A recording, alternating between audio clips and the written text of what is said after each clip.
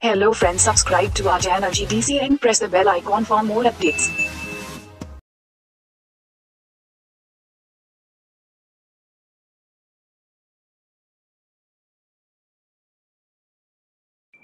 Hello pharma aspirants, welcome or welcome back to GDC channel. In this video, we will be going to discuss about the mechanism of action of some antibiotics which are not classified.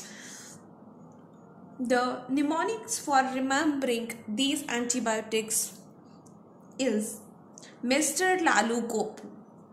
M stands for macrolides. Here macrolides is a itself a category of antibiotics. L for lincosamide.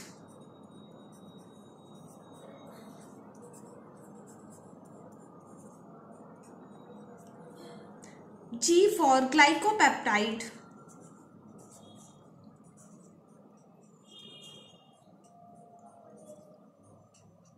O for oxazolidinone.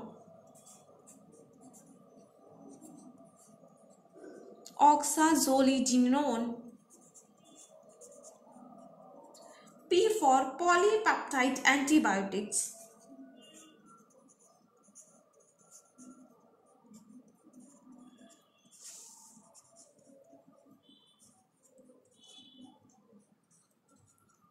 And pristinamycin.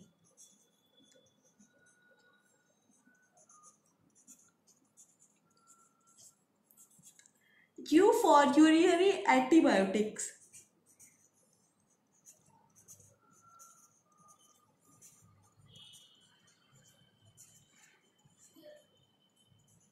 In this video, we are going to discuss one by one these class of antibiotics and some details about these antibiotics.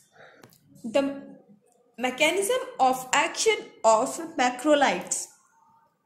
This bacterial protein synthesis is earlier discussed in detail.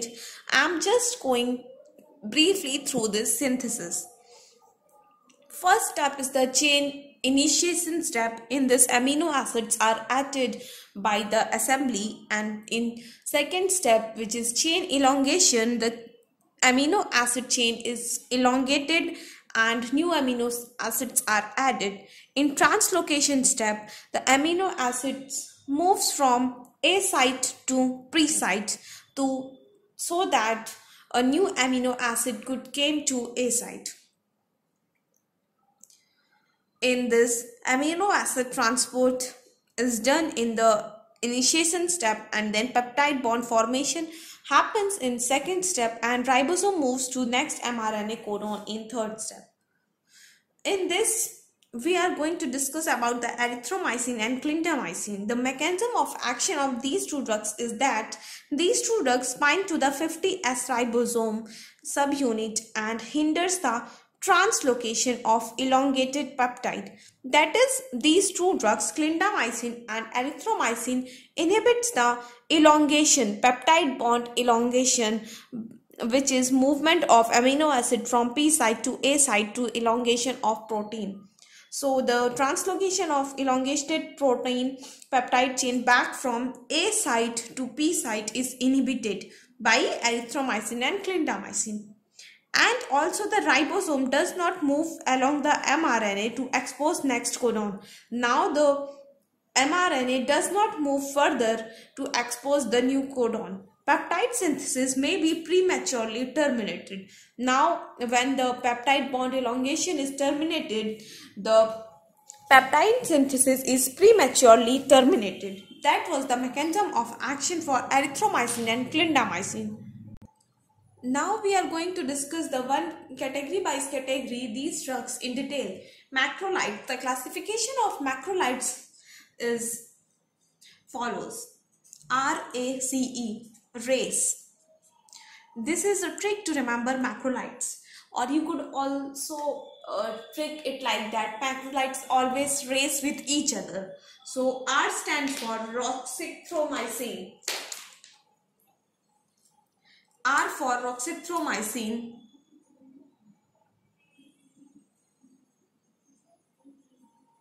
azithromycin.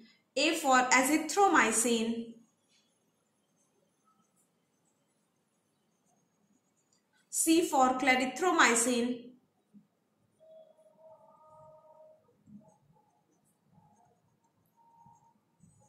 and E for erythromycin.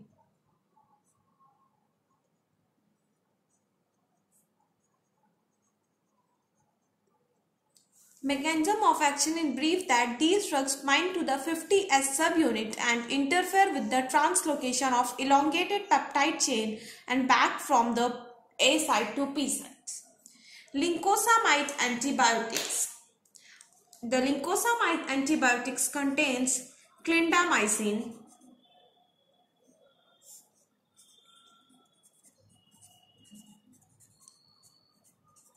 and the mechanism of action of clindamycin is same as macrolides as I have discussed earlier. The next category is glycopeptide antibiotics. Two drugs are vancomycin and teicoplanin.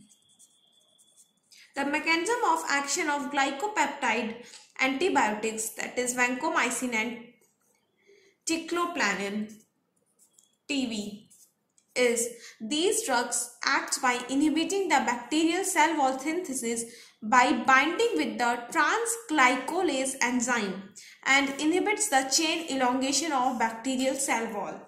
So these drugs inhibit bacterial cell wall synthesis, not protein synthesis cell wall synthesis is inhibited as it binds with the transglycolase enzyme and inhibits the chain elongation of bacterial cell wall.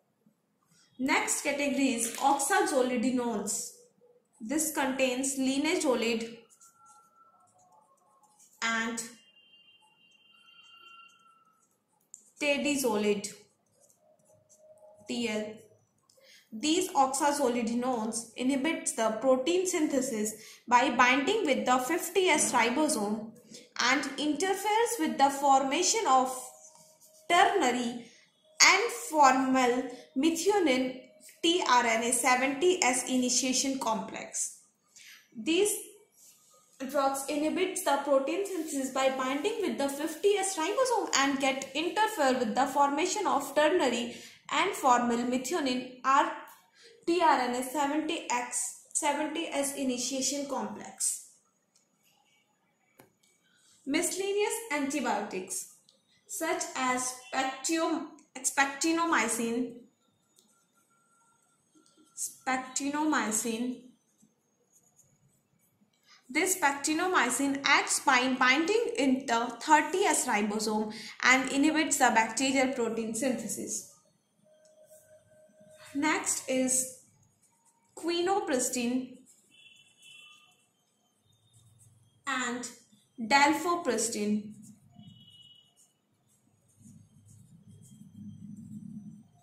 These two drugs, quinupristin and dalfopristine, binds with 50S subunit and inhibits the protein synthesis. The next drug is mupirocin. This mupirocin acts by inhibiting the bacterial protein synthesis by blocking the production of tRNA for the isoleucine amino acid.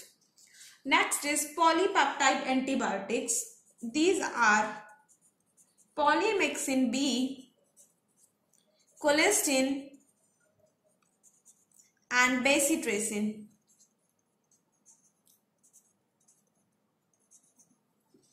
These polymyxin B and colistin acts by inhibiting the bacterial cell membrane through have detergents like action on cell membrane.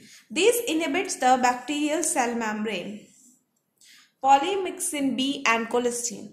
Bacitracin acts by inhibiting the bacterial cell wall synthesis at the earliest. Bacitracin which is a polypeptide antibiotics inhibits the bacterial cell wall synthesis at the earlier stage. At last, the last unclassified antibiotics is the urinary antiseptics. In next video, we are going to discuss a detailed information about the urinary antiseptics. Thank you for watching this video.